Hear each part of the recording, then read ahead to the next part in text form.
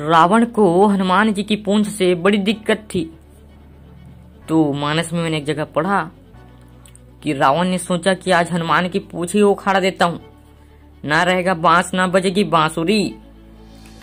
हनुमान जी एक शिला पे बैठे हुए थे। रावण पीछे से चुपके चुपके आया और हनुमान जी को उसने पूंछ पकड़ी कि आज तो उखाड़ ही दू चापा ही खत्म करो। और जब पूंछ उखाड़ने लगा तो हनुमान जी ने पूछे मुड़, पीछे मुड़ के देखा, कोई हरकत हुई? और जब हनुमान जी पलट कर देखा तो रावण था। तो हनुमान जी उड़े, और जब हनुमान जी उड़े तो ये भी पीछे पीछे उड़ा। अब पहले तो उखाड़ने आया था। फिर कहने लगा कि हे शंकर भगवान, ये उखड़ ही न जाए। कि ये अगर उखड़ गई तो कहाँ से गिरेंगे और कहाँ हम जाएँगे? शंकर भगवान का भक्त था। बोले हे भगवान ये उखड़ न जाए। तो लोग तुम्हारी पूंछ उखाड़ेंगे ही, लेकिन तुम पीछे मत हटना। अगर आप मेरे साथ है तो बोलिए कमेंट में हाँ। तो जब रावण का बस न चला तो रावण ने चार सेनाएँ भेजी हनुमान जी को परास्त करने के लिए। अब यहाँ पे आप अपने आप को हनुमान जी समझना और बाकी सबको राक्षस।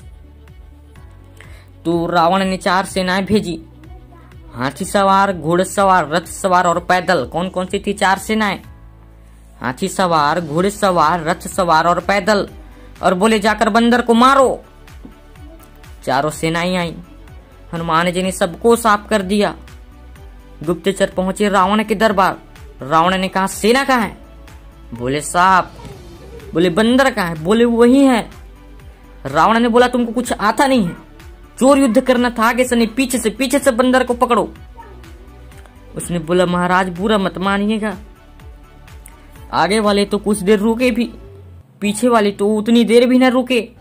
रावण ने बोला, पीछे क्या? बोले, पूछ। रावण ने बोला, पूछ की बात मत करो। पूछ की बात मत करो मेरे से।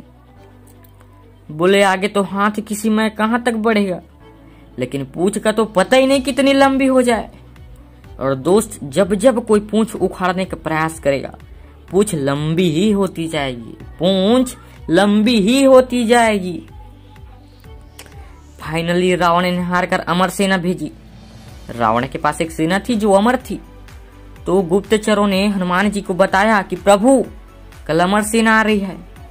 भीषण जी सारे परेशान हो गए। राम जी परेशान हो गए कि, अमर सेना, हनुमान जी, अब? तो बोले, कल बताऊँगा। आने दो। बोले, ये तो मरेंगे ही नहीं। ऐसे भी लोग होंगे ना दोस्त तुम्हारे इर्द गिर्द। जो रहेंगे पर मरेंगे नहीं चू चू करते रहेंगे। हनुमान जी ने बोला, कल बताएँगे। अब कल अमर सेना आ गई। तो हनुमान जी ने कहा, मरने वाले तो है नहीं, क्या किया जाए? तो हनुमान जी ने पूंछ बढ़ाई और शास्त्र कहता है कि हनुमान जी ने सबको पूंछ में लपेटा और पूरी ताकत से जब फेंका तो गुरुत्वाकर्षण से बाहर ही चले गए कि बोले, अब मंडराते रहो ऊपर। गुप्तचर पहुँची रावण के पास। रावण ने बोला, सेना कहाँ है? बोले, महाराज जाते देखी थी पर आते नहीं देखी। महाराज जाते देखी थी, बोले आते नहीं देखी। बोले, बंदर कहाँ है?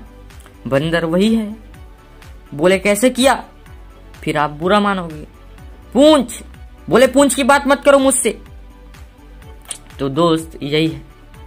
जिसकी जितनी स्तुति होगी, उसकी उतनी ही निंदा भी होगी। ये बात हमेशा याद रखना दोस्त।